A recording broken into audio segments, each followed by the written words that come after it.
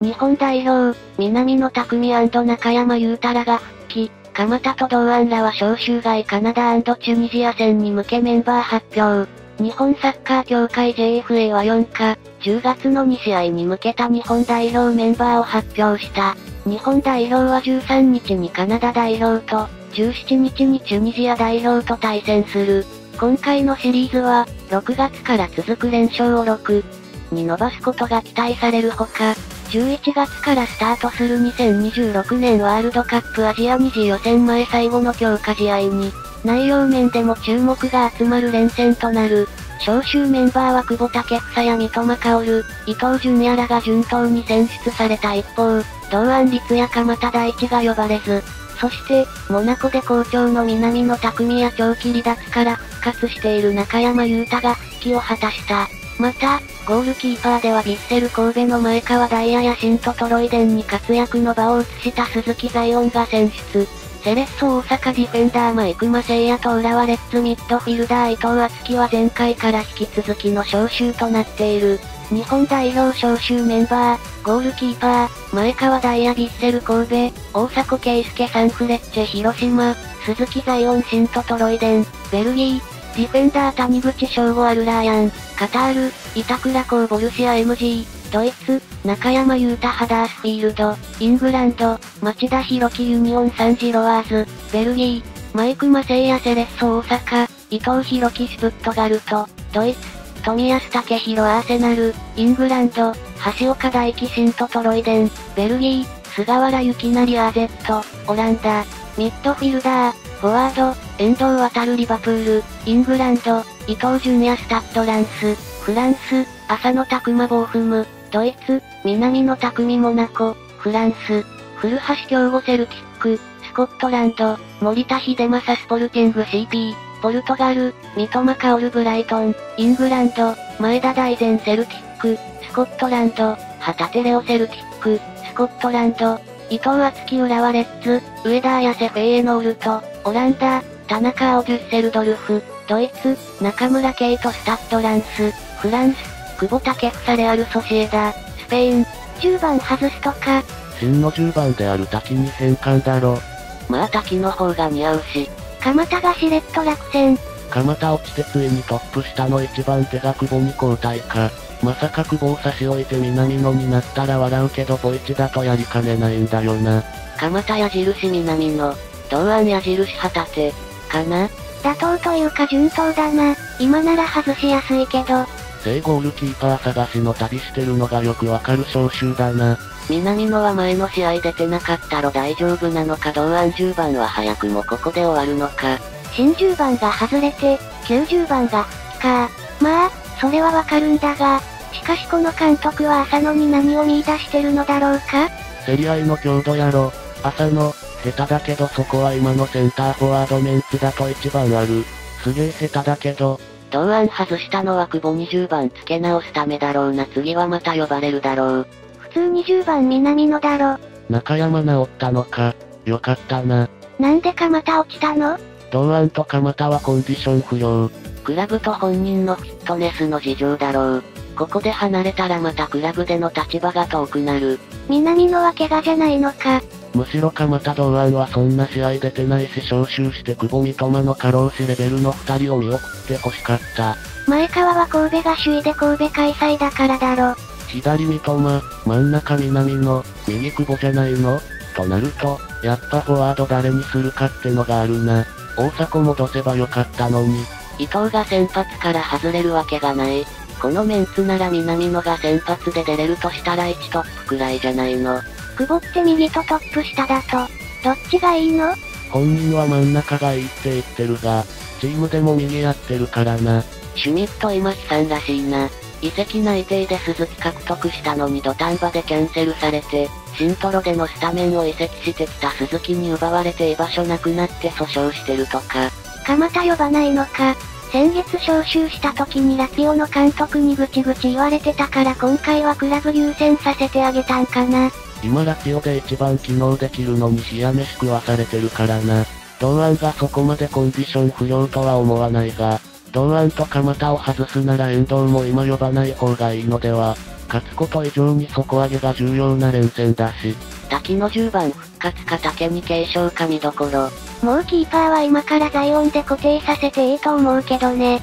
森保も色々読んで試してはいるけど人材難すぎて競争になってねこれで久保トップ下で三笘伊藤と同時にスタートから使って結果出たら、蒲田代表でも立場辛くなるがその場合ボランチできそうか。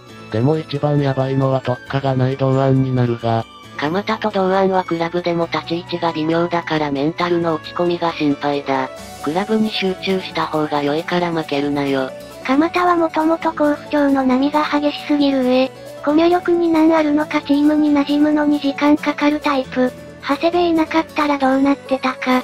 もちろん冗談だろうけど俺がドイツ語喋れないのは多分長谷さんの面倒見が良すぎるせい。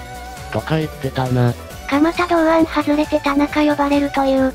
田中碧は本人のキャリア的には今完全に壁だから呼ばないでクラブで信頼取り戻すのに集中させた方が本人のためにはいい気がするが、あのポジションで強度あるの、遠藤森田の次がだいぶ落ちてた中なんだよな。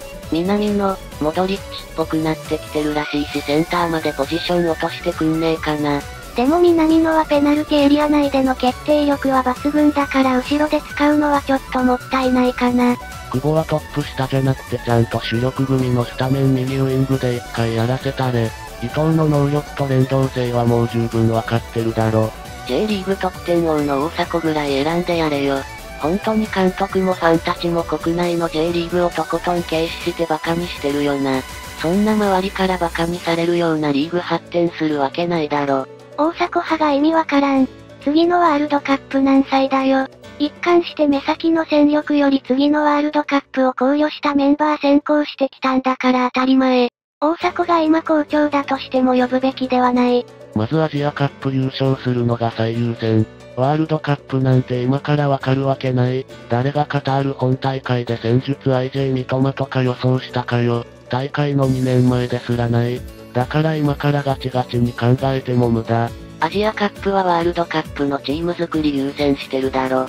前回だってベルギー相手に勝ちそうになったメンバーを4バック以外全特会だぞ。